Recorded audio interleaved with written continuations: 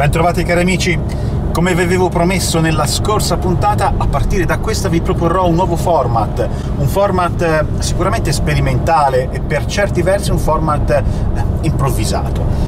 Perché? Perché con l'idea, sull'idea della puntata di qualche settimana fa, quella in cui vi ho portato a spasso per Firenze, ebbene in questa serie di puntate voglio portarvi questa volta a spasso per l'Italia, una passeggiata quindi virtuale in cui vi porterò alla scoperta di alcune delle nostre migliori meraviglie, eh, meraviglie famose ma anche meraviglie meno note, meno conosciute. Andremo alla scoperta di angoli segreti dell'Italia, ne scopriremo la storia, i misteri, le curiosità. Spero che questa idea possa incuriosirvi e avete voglia di farmi compagnia? Bene, dai, andiamo!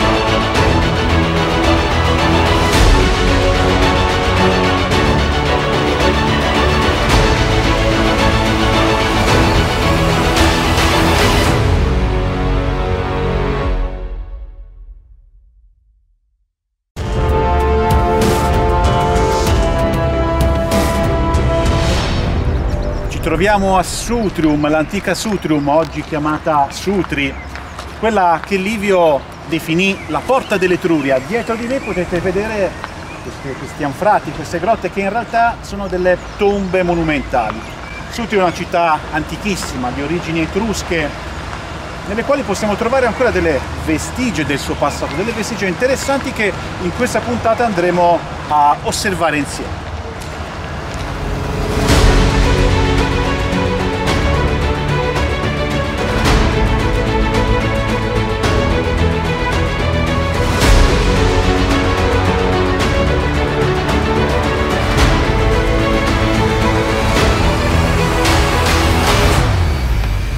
Allora direi che prima di andare a vedere, la prima tappa che faremo sarà quella dell'anfiteatro, l'anfiteatro romano etrusco, le origini non sono ben chiare. Prima però di andare all'anfiteatro ci andiamo a prendere un caffè, che ci vuole, e ci accendiamo poi un bel sigaro.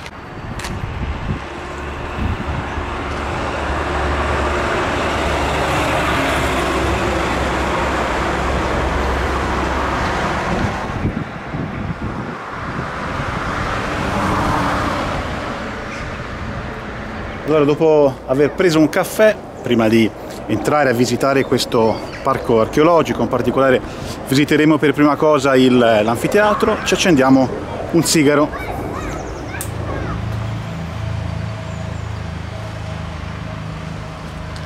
Andiamo!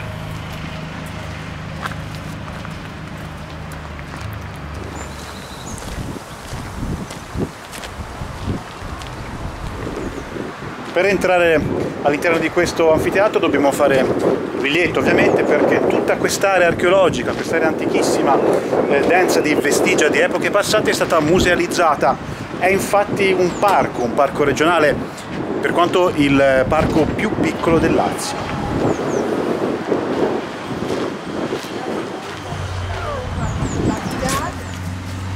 Allora, vi do anche la mappa del parco? Sì, grazie. Allora, intanto questa è lei. Sì, grazie. Grazie.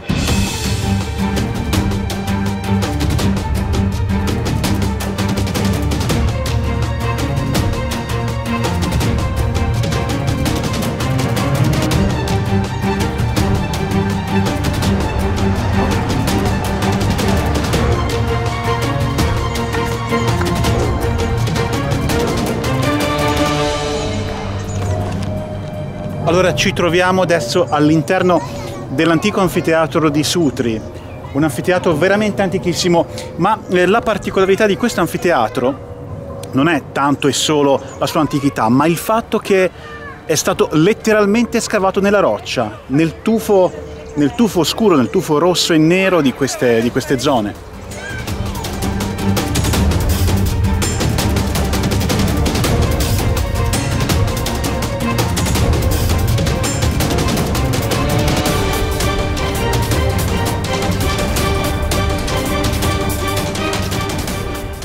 Pensate, la scoperta di questo anfiteatro è avvenuta soltanto in tempi relativamente recenti, perché questo anfiteatro fino al secolo scorso, fino, anzi fino alla metà dell'Ottocento, era completamente interrato, era seppellito da metri e metri di terra ed è stato scoperto dalla famiglia che era, aveva la proprietà di queste terre e, e che quindi nella, nella, verso la metà dell'Ottocento l'ha riportato letteralmente alla luce. Quindi è una scoperta come vi dicevo relativamente recente. Ma proviamo a montare sugli spalti, a guardarli più da vicino. Questo è un anfiteatro che è lungo quasi 50 metri e largo 40, quindi ha una forma ellittica. Ora ci troviamo all'interno della cavea eh, meridionale e qui abbiamo una galleria che ci dovrebbe consentire di arrivare sugli spalti. Andiamo a vedere. Mi stanno accompagnando in questo viaggio, oltre due letterati, una storica e un filosofo, anche mio figlio. Ed eccoci qua, improvvisamente, sugli spalti di questo splendido anfiteatro.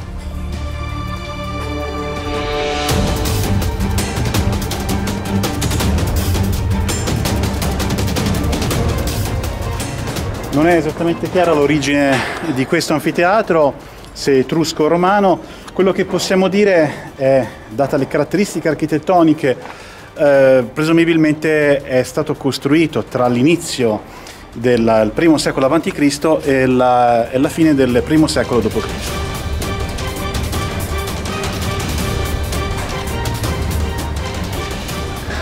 Alcune aree di questo anfiteatro, come vedete ovviamente per preservarlo, sono state chiuse, quindi eh, purtroppo sono inagibili, ma comunque abbiamo avuto l'opportunità di eh, vederlo dall'alto e quindi di fare una panoramica generale su questo anfiteatro. Un anfiteatro che presumibilmente veniva utilizzato per i giochi gladiatori e forse magari anche per qualche funzione religiosa, per qualche funzione rituale.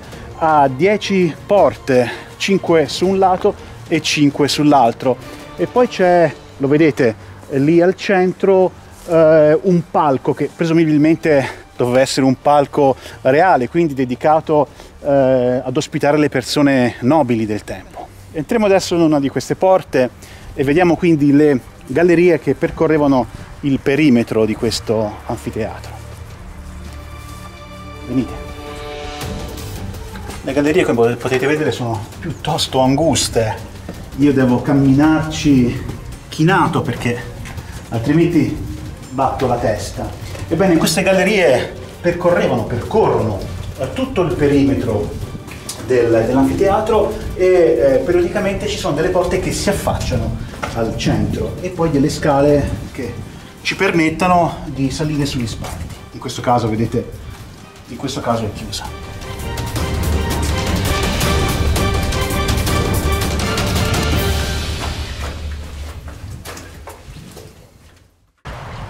Quello che adesso vi faccio vedere è un antico mitreo. Mitreo o mitreo? Mitreo. Beh, dunque vi dicevo, quello che adesso vi faccio vedere, quello che adesso andiamo a vedere è un antico mitreo. Mitrei erano dei luoghi di culto del dio Mitra, una, un culto, come si dice? Misterico, un culto misterico, giusto? Un culto misterico di origine persiana. Come potete vedere dalle immagini è un luogo ipogeo, suggestivo e anche un filo inquietante. È stato in passato una tomba etrusca, quindi un tempio dedicato al dio Mitra e infine, verso il XIII-XIV secolo d.C. è stato convertito in chiesa, la chiesa della Madonna del Parto.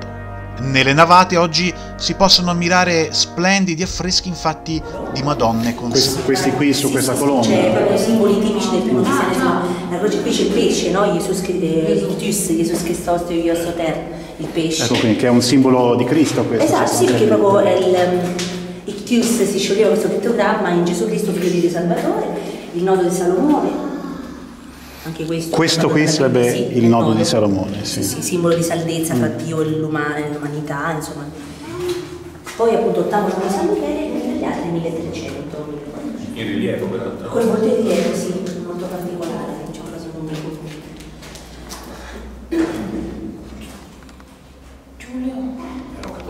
Ce ne sono tanti, però... Quindi, quindi l'origine del nome Sutrium, Sutri, non è, non è chiara. No, sta- assolutamente no. Alzati. Da Saturno. Comunque le origini di questa città sono pre-etrusche, ho letto addirittura sono dell'epoca abitanti del bronzo, esatto, sì sì, in campagna poi.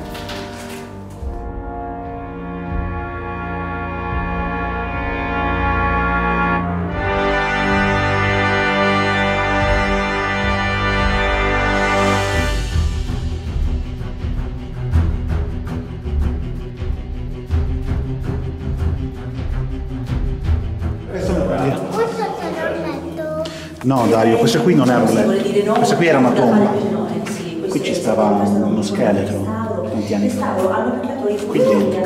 Era una tomba cristiana, c'era uno scheletro.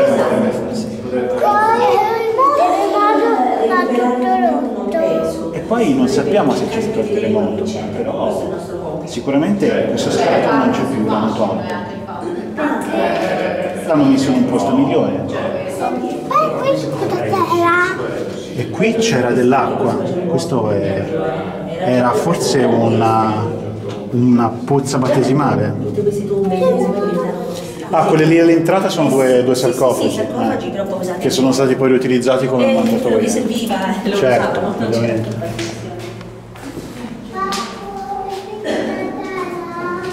Qui c'erano degli scheletri anche qui dentro.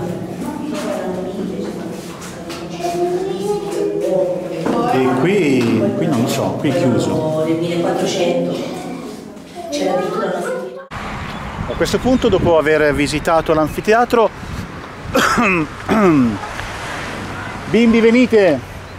A questo punto, dopo aver visitato l'anfiteatro, proviamo a cercare la necropoli etrusca che dovrebbe essere a poche centinaia di metri dall'anfiteatro. Seguiamo il sentiero. Giulio, dai, sto registrando. No, non di me. No, non ti lascio indietro. Allora ho trovato un cartello che appunto ci eh, dice, ci dà l'indicazione dove possiamo trovare la necropoli etrusca. Questa necropoli etrusca poi, come vedremo, è stata ricavata anche in questo caso, come per l'anfiteatro, come per il mitraio, è stata ricavata scavandola letteralmente dentro la roccia, dentro questi tufi vulcanici che vedete al mio fianco.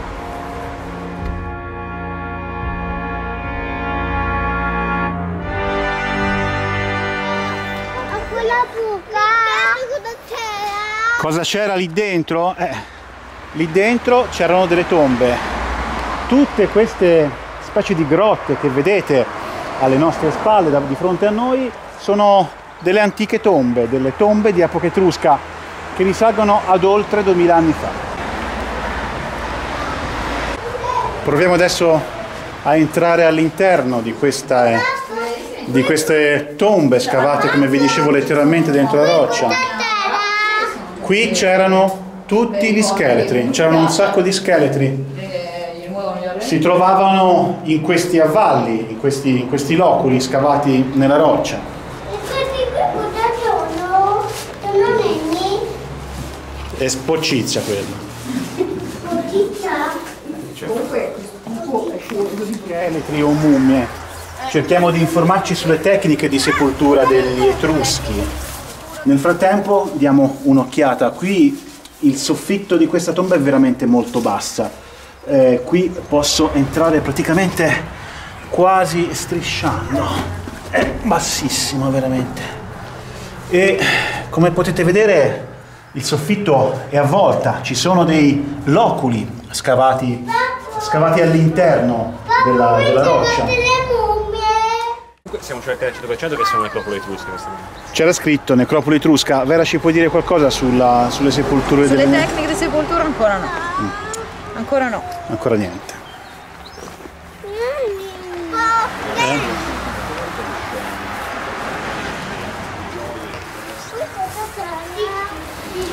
Andiamo a vedere. Entriamo. Come vedete è un complesso molto articolato. Eh, la cosa interessante è che appunto le articolazioni di questi complessi tombali eh, si uniscono gli uni agli altri e hanno, eh, sono, vi dicevo appunto, strutturati, molto articolati, quasi labirintici. Ci sono passaggi, piccoli cunicoli che conducono una sala mortuaria all'altra. Quello che possiamo dire è che sicuramente nel corso dei secoli queste strutture sono state rimaneggiate più volte, sono state eh, modificate dall'uomo per essere adattate a seconda delle circostanze, a seconda delle necessità. Sono stati dei depositi, sono state delle stalle, sono stati dei fienili e quindi quello che possiamo vedere oggi è solo una parte modificata, rimaneggiata di quello che era un tempo. E, e, e,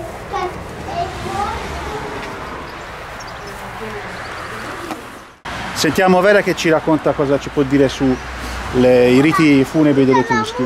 Allora, una scheda a cura del Ministero per i beni e le attività culturali della sezione della regione toscana ci informa che nel periodo più antico della civilizzazione etrusca, quindi nel periodo cosiddetto villanoviano, tra IX e VIII secolo a.C., il corpo del defunto era normalmente cremato e Mm, beh, il e quindi- sarcofago consisteva in un'urna.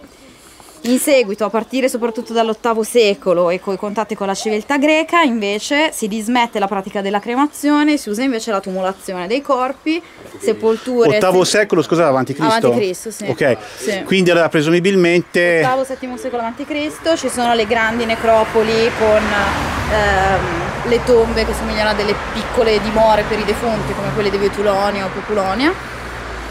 In un periodo ulteriore, come questo, siamo già verso il VI secolo a.C., qui Qui addirittura già verso il secolo avanti, avanti Cristo comunque, VII, sì. VI secolo a.C. abbiamo le tombe scavate nella roccia che documentano in un certo senso eh, anche un po' l'impoverimento del- della popolazione, cioè il fatto che si facesse una vera e propria spopolazione edilizia sui morti, per cui non c'era più tanto spazio per fare tombe grandi e piene di corredi. E quindi venivano, e quindi diciamo, venivano acc- accumulati lì uniti. E comunque non, era in- eh, non c'era l'uso, non c'era la pratica della mummificazione. No, non c'era mummificazione. Bene, grazie. Prego.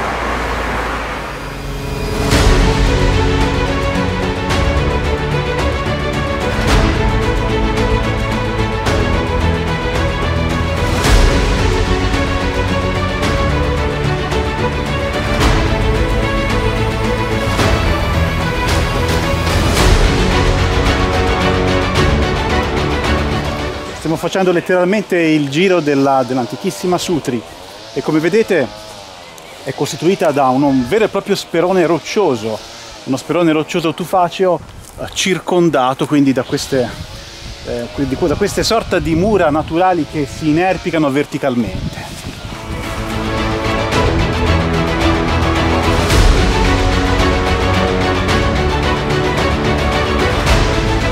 Ecco che una volta varcato, aggirato questo sperone roccioso, iniziamo finalmente a intravedere la città nuova, per così dire, di Sutri. Eccola qua.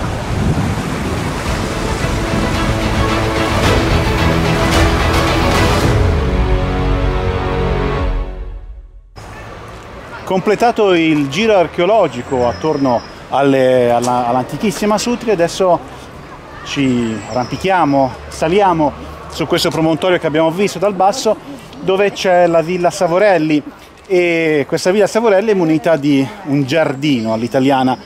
È proprietà privata, quindi non ci possiamo entrare, ma cercheremo di vederlo dall'esterno perché dovrebbe essere molto particolare.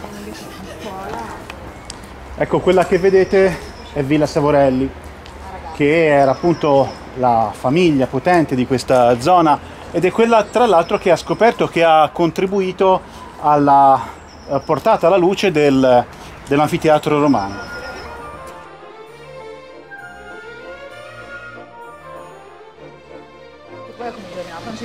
Ecco, siamo in sommità di questo sperone tufaccio che abbiamo visto prima dal basso. Cioè, sì, giorni, e, diciamo, in sommità quindi a questo sperone la famiglia Savorelli ci ha ricavato un giardino all'italiana.